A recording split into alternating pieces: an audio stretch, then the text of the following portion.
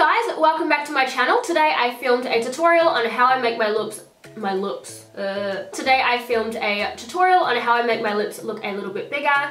Yes, I've had lip injections in the past. I've had 4 mil in total and the last time I had them injected was 8 months ago. They've pretty much lost a lot of the volume that they had, but I still like to overline my lips if you guys have had injections or hadn't, anyone can follow this tutorial.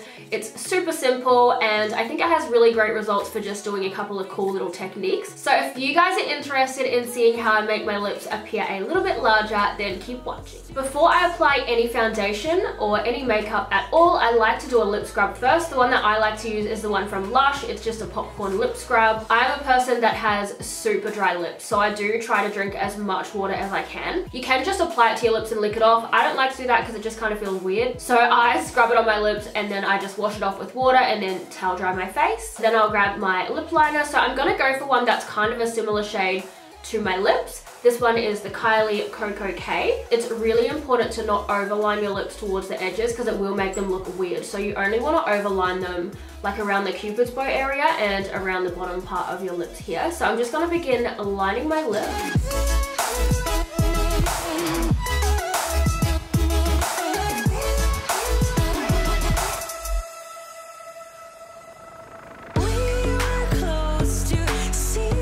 Once I've done a rough lip line, I'm going to fill them in also with the same lip liner.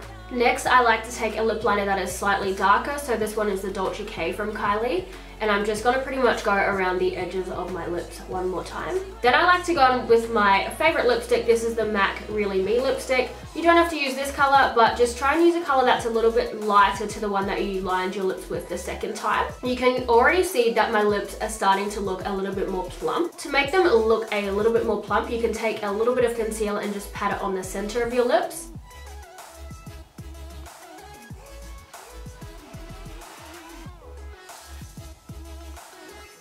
Next, I like to add a little bit of bronzer underneath here and it just helps the lip look like it's like pouty a little bit more and then I also do a little bit of highlight on my cupid's bow. I'm going to use Hoola by Benefit, this one here, just on a little brush. This is the Morphe M433 brush. Obviously you don't have to use the same products right here.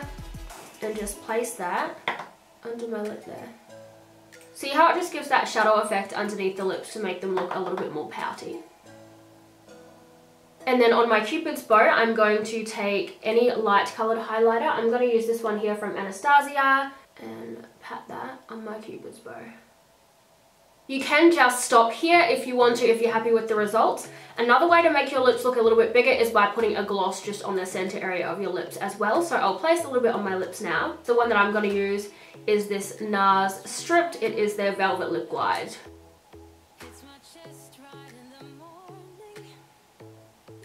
So that is basically how I make my lips look a little bit bigger. I hope you guys enjoyed watching this video. If you did, don't forget to subscribe, hit the thumbs up, and if anybody tries any of these techniques, comment down below and let me know how it went for you. And I hope to see you guys in my next video.